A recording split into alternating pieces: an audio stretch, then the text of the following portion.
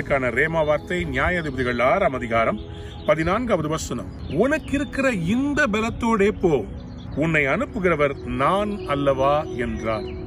பல நேரத்தில் நமக்கு சந்தேகம் என்னன்னு சொன்னா ஆண்டவர் சொன்னாலுமே அவரை நம்புறது இல்ல ஆண்டவர் நம்மளை பார்த்து சொல்றாரு நீ போப்பா. அவர் போன்னு சொன்னாலே உங்களை அவர் எல்லாம் எக்யூப் பண்ணி அனுப்புறாருன்னு அர்த்தம். இந்தியாவுடைய எல்லை படைக்கு ஒரு ராணுவ வீரன் போறான் என்றால் அந்த ராணுவ வீரனுக்கு அவங்க துப்பாக்கி கொடுத்து அனுப்ப மாட்டாங்களா? விண்வெளி களத்துக்கு ஒரு மனிதன் போகிறார் என்று சொன்னால் அந்த விண்வெளி களத்துக்கு போகிற அந்த மனிதனுக்கு தேவையான உணவு அவருக்கு தேவையான எக்யூப்மெண்ட்ஸ் கொடுத்து அனுப்ப மாட்டாங்களா? இப்போ ஆண்டவர் உங்களை பார்த்து சொல்றாரு உனக்கு முன்னாடி இருக்கிற அந்த பெரிய அந்த தடை அதை நோக்கி போன்றார்.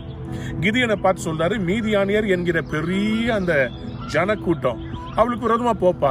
இவர் சொல்றாரு ஆண்டவரே நான் எப்படி போவேன்? நல்லா கவனித்துக் கொள்ளுங்க. நமக்கு புறம்பான தோற்றத்துல இருக்கிற ஆயுதம் மட்டும்தான் தெரியும். ஆனா நமக்கு உள்ள தேவன் வச்சிருக்கிற ஆயுதம் தெரியுமா? அதுக்கு பேர் தான் விசுவாசம். அதுக்கு பேர் தான் தேவனுடைய வல்லமை. அதுக்கு பேர் தான் அபிஷேகம். இன்னைக்கு ஆண்டவர் உங்களை பார்த்து சொல்றார் உனக்கு இருக்கிற பலத்தோட போப்பா உன்னை அனுப்புகிறவர் நான் அல்லவா? நீ இஸ்ரவேலரை மீதியானுடைய கையிலிருந்து ரட்சிப்பாயின்னு சொல்றார். தேவ பிள்ளைகளே இந்த வார்த்தைகள் உங்கள் உள்ளத்திலே பதிவதா ஆண்டவர் உங்களோடு கூட இன்றைக்கு பேச விரும்புகிறார். God wants to let you know you don't need to suffer anymore you need to have the faith to move நீங்க முன்னாடி கால் எடுத்து வைக்கணும். போன்னு சொல்றார் ஆண்டவர். தைரியமா போங்கன்றார். முயற்சி பண்ணுங்கன்றார். ஏனென்றால் உங்களை அனுப்புகிறது அவர்தான்.